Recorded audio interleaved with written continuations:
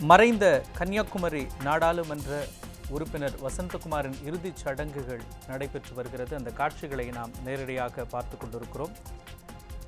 கன்னியாகுமரி மாவட்டம் அகஸ்தீஸ்வரத்தில் அவரது இறுதிச் சடங்கு நடைபெற்று வருகிறது.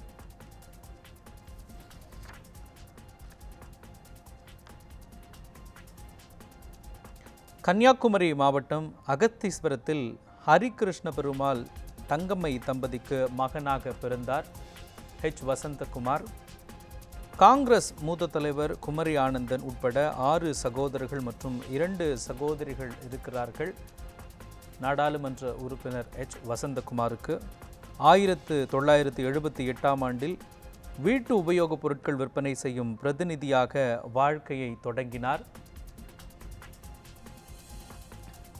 விற்பனை பிரதிநிதியாக வாழ்க்கையை தொடங்கிய அவர் வாழ்வில் படிப்படியாக முன்னேறி வசந்த் அண்ட் நிறுவனத்தை தொடங்கினார்.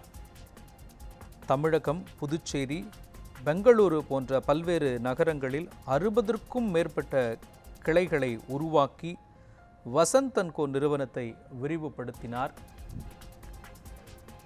அது மட்டுமல்லாமல் அடுத்ததாக தனது அரசியல் பயணத்தில் இரண்டாயிரத்து ஆறு மற்றும் இரண்டாயிரத்து பதினாறு சட்டப்பேரவைத் தேர்தலிலும் நாங்குநேரி தொகுதியில் போட்டியிட்டு வெற்றி பெற்றார். இரண்டாயிரத்து பத்தொன்பதாம் ஆண்டு மக்களவை தேர்தலில் கன்னியாகுமரி தொகுதியில் போட்டியிட்டு வெற்றி பெற்றார். தற்பொழுது அவரது இறுதிச் சடங்குகள் நடைபெற்று வருகிறது. விரிவான விவரங்களை நம்முடைய மண்டல செய்தியாளர் சுடலைக்குமாரிடம் கேட்கலாம். சுடலைக்குமார் தற்பொழுது நடைபெற்று வரும் இந்த இறுதிச் சடங்கு நிகழ்வு குறித்து சொல்லுங்க சுடலைக்குமார். வணக்கம் மோகன். அதாவது நேற்று இரவு பதினொன்று நாற்பத்தி ஐந்து மணிக்கு மறைந்த பாராளுமன்ற உறுப்பினர் வசந்தகுமார் உடலானது சொந்த ஊரான கன்னியாகுமரி மாவட்டம் அகஸ்தீஸ்வரத்திற்கு கொண்டுவரப்பட்டது. தொடர்ச்சியாக காங்கிரஸ் கட்சி பிரமுகர் உள்ளிட்ட அனைத்து கட்சி பிரமுகர்கள் அஞ்சலிக்கு பிறகாக பொதுமக்கள் அஞ்சலி செலுத்தியதில் இன்று காலை அவருடைய மகன்கள் விஜய் வசந்த் மற்றும் வினோத் ஆகிய இருவருடைய இறுதிச் சடங்கு நிறைவு செய்த பிறகாக அவருடைய இல்லத்திலிருந்து இறுதி ஊர்வலமானது புறப்பட்டு அகஸ்தீஸ்வரத்தில் உள்ள அவருடைய சொந்த தோட்டத்தில் நல்லடக்கம் செய்வதற்காக இறுதி ஊர்வலமாக எடுத்து வரப்பட்டது. ஆயிரக்கணக்கான பொதுமக்களும் கட்சி பிரமுகர்களும் தொண்டர்களும் கலந்து கொண்டனர். இந்த இறுதி ஊர்வலத்தில் தற்பொழுது அவருடைய சொந்த தோட்டத்தில் நல்லடக்கத்திற்கு முன்பாக நடைபெறக்கூடிய இறுதிச் சடங்குகளானது நடைபெற்று வருகிறது. நம்மால் பார்க்க முடிகிறது அவருடைய மகன்கள் விஜயவசன் மற்றும் வினோத் ஆகியோர் இந்த இறுதிச் சடங்கை வந்து செய்து வருகிறார்கள். அந்த நேரடி காட்சிகளை பார்த்து வருகிறோம். இந்த பகுதியை பொறுத்தவரையில் பனங்காட்டு படை கட்சியினுடைய ஒருங்கிணைப்பாளர் ஹரிநாதன் வந்து சட்டமன்ற உறுப்பினர்கள் சுரேஷ் ராஜன் ஆஸ்டின் பிரின்ஸ் ராஜேஷ் குமார் உள்ளிட்ட சட்டமன்ற உறுப்பினர்களும் இங்கு பங்கேற்றிருக்கிறார்கள். அது மட்டுமின்றி அஸ்தீஸ்வரத்தில் உள்ள பொதுமக்களும் கட்சி காங்கிரஸ் கட்சியுடைய தொண்டர்களும் பல்வேறு மாவட்டங்களில் வந்திருக்கக்கூடிய காங்கிரஸ் கட்சியைச் சேர்ந்த தொண்டர்களும் பங்கேற்றிருக்கிறார்கள். இறுதிச் சடங்கானது நடைபெற்று வருகிறது. இன்னும் சில நிமிடங்களில் இந்த உடலானது நல்லடக்கமானது செய்யப்பட இருக்கின்றது. ஹெச் வசந்தகுமாரை பொறுத்தவரையில் ஆயிரத்தி தொள்ளாயிரத்தி ஐம்பதாம் ஆண்டு இந்த கன்னியாகுமரி மாவட்டம் அகஸ்தீஸ்வரத்தில் பிறந்தார். தொடர்ச்சியாக எழுபத்தி ஐந்தாம் ஆண்டுகளில் அவருக்கு அவருடைய படிப்பு பட்டப்படிப்பு முடிந்த பிறகாக அவருக்கு கல்லூரிகளில் பணியாற்றுவதற்கு வேலை கிடைத்த போதிலும் சொந்த காலில் நின்று முயற்சி செய்து நான் ஒரு தொழிலை உருவாக்கி நிறுவனத்தை உருவாக்கி முன்னேற வேண்டும் என்ற அந்த நோக்கில் இங்கிருந்து கன்னியாகுமரியிலிருந்து சென்னை நோக்கி வந்த அவர் பிஜேபி நிறுவனத்தில் பணியாற்றுகிறார். அதன் தொடர்ச்சியாக ஆயிரத்தி தொள்ளாயிரத்தி எழுபத்தி எட்டாம் ஆண்டு முதன் முதலாக பசங்கோ என்ற நிறுவனத்தை துவங்கி இன்ஸ்டால்மெண்ட் அதாவது தவணை முறையில் பொதுமக்களுக்கு டிவி உள்ளிட்ட வீட்டு உபயோகப் பொருட்களை கொடுக்க வேண்டும் என்ற அந்த ஒரு நடைமுறையை வந்து முதன் முதலாக கொண்டு வந்தவர் ஹெச் வசந்தகுமார். அந்த வகையில் தொடர்ச்சியாக சீரிய முயற்சி விடாமுயற்சி உழைப்பின் காரணமாக கிட்டத்தட்ட தமிழகம் மட்டுமின்றி ஆந்திரா கேரளா புதுவை உள்ளிட்ட நாட்டில் அறுபத்தி எட்டு கிளைகளை உருவாக்கியவர் கிட்டத்தட்ட மூவாயிரத்துக்கும் மேற்பட்டோருக்கு பணிகளை கொடுத்திருக்கிறார். அவரிடம் வந்து ஊழியர்கள் பணியாற்றி வருகிறார்கள். அது மட்டுமின்றி காங்கிரஸ் அதாவது அவருடைய அரசியல் வாழ்க்கையை பொறுத்தவரையில் தற்பொழுது செயல் தலைவராக காங்கிரஸ் கட்சியுடைய தமிழகத்துடைய செயல் தலைவராக இருக்கின்றார். இரண்டாயிரத்தி ஆறாம் ஆண்டு முதன் முதலாக நெல்லை மாவட்டம் நாங்குநேரி தொகுதியில் சட்டமன்ற தொகுதியில் அங்கு வந்து போட்டியிட்ட அவர் வெற்றி பெற்றார். தொடர்ச்சியாக இரண்டாயிரத்தி பதினோராம் ஆண்டு போட்டியிட்ட போது தோல்வியை தழுவியிருந்தாலும் தொடர்ச்சியாக பதினான்காம் ஆண்டு கன்னியாகுமரி சட்டமன்ற பாராளுமன்ற தொகுதியில் போட்டியிட்டு தோல்வியுற்றார் தொடர்ச்சியாக இரண்டாயிரத்தி பதினாறாம் ஆண்டு நாங்குநேரி தொகுதியில் மீண்டும் போட்டியிட்டு வெற்றி பெற்ற அவர் இரண்டாயிரத்தி பத்தொன்பதாம் ஆண்டு கன்னியாகுமரி பாராளுமன்ற தொகுதியில் பாராளுமன்ற உறுப்பினராக வேண்டும் என்ற ஒரு ஆசை அவருக்கு நீண்ட ஆண்டு காலமாக இருந்து வந்தது.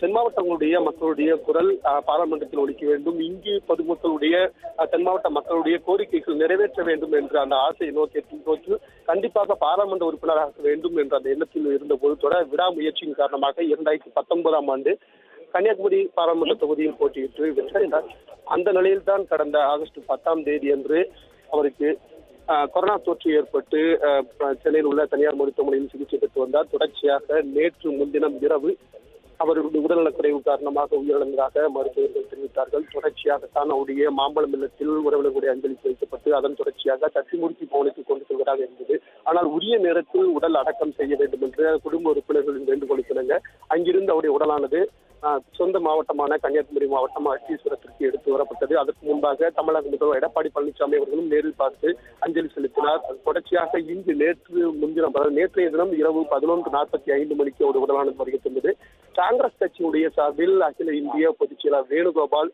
மட்டுமின்றி செயல் தலைவர் மயூரா ஜெயக்குமார் உட்பட காங்கிரஸ் கட்சியைச் சேர்ந்த நிர்வாகிகள் நேற்று இரவு மலர் வளையம் வைத்து அஞ்சலி செலுத்தார்கள். தொடர்ச்சியாக இன்று காலை ஏழு மணிக்கு பொதுமக்களுடைய அஞ்சலிக்காக அவருடைய உடல் வைக்கப்பட்டிருந்தது. கன்னியாகுமரி மாவட்டத்தில் உள்ள கட்சி பிரமுகர்கள் காங்கிரஸ் கட்சியைச் சேர்ந்தவர்களும் அகச்சித்துறத்தைச் சேர்ந்த பொதுமக்களும் உறவினர்களும் இன்று காலை ஏழு மணி முதல் தொடர்ச்சியாக அவருடைய உடலுக்கு மலர் வளையம் வைத்து அஞ்சலி செலுத்தினார்கள். அது மட்டுமின்றி சட்டமன்ற உறுப்பினர்கள் பூங்கோதை ஆளுடைய திருச்செந்தூர் சட்டமன்ற உறுப்பினர் அனிதா ராதாகிருஷ்ணன் கன்னியாகுமரி மாவட்டத்தைச் சேர்ந்த கன்னியாகுமரி ஆஸ்டின் குளச்சல் பிரின்ஸ் சட்டமன்ற உறுப்பினர் பிரின்ஸ் அது மட்டுமின்றி மனோ தங்கராஜ் சுரேஷ் ராஜன் உள்ளிட்ட கன்னியாகுமரி மாவட்டத்தைச் சேர்ந்த சட்டமன்ற உறுப்பினர்கள் அது மட்டுமின்றி கன்னியாகுமரி மாவட்ட நிர்வாகத்தின் சார்பிலும் பாராளுமன்ற சபாநாயகர் மக்களவை பாராளுமன்ற சபாநாயகர் ஓம் பிர்லாவுடைய சார்பிலும் மாவட்ட ஆட்சித்தலைவர் பிரசாந்த் முகடங்கரை வருகை தந்து இரண்டு மலர் வளையங்கள் வைத்து அஞ்சலி செலுத்தினார்கள். தொடர்ச்சியாக அதிமுக சார்பிலை பொறுத்தவரையில் தமிழக அரசுடைய டெல்லி சிறப்பு பிரதிநிதி தலவாய் சுந்தரம் வருகை தந்து அஞ்சலி செலுத்தினார்கள். அது மட்டுமின்றி பாஜகவுடைய சார்பில் பாரதிய ஜனதா கட்சி சார்பில் முன்னாள் பாஜக மத்திய அமைச்சர் பொன் ராதாகிருஷ்ணனும் வருகை தந்து இங்கு அவருடைய உடலுக்கு மலர் வளையம் வைத்து அஞ்சலி செலுத்தினார். இப்படியாக தி- காங்கிரஸ் மட்டுமின்றி திமுக அதிமுக உள்ளிட்ட பல்வேறு கட்சி பிரமுகர்களும் கட்சி பாகுபாடு பாராமல் இங்கு வருகை தந்து அவருடைய உடலுக்கு அஞ்சலி செலுத்தியிருக்கிறார்கள். ஏனென்றால் எந்த கட்சியினர் அதாவது மாற்றுக் கட்சியினர் என்று பாராமல் பொதுமக்கள் மட்டுமின்றி மாற்றுக் கட்சியினரும் இன்முகத்துடன் எப்போதும் சந்திப்பவர் ஹெச் வசந்தகுமார் அந்த வகையில் அவருடைய இறுதிச் சடங்கில் அந்த அஞ்சலி செலுத்துவதற்கும் பல்வேறு கட்சியினரும் அங்கு வருகை தந்தது ஒரு முக்கியத்துவமாக கருதப்படுகிறது. தற்பொழுது அவருடைய நல்லடக்கமானது இன்னும் சில நிமிடங்கள் அடக்கம் செய்யப்பட இருக்கிறது. அதுக்கு முன்பாக உள்ள அந்த இறுதிச் சடங்குகளானது தற்பொழுது நடைபெற்றுவதை நாம் நேரடியாக பார்த்திருக்கிறோம் மோகன்?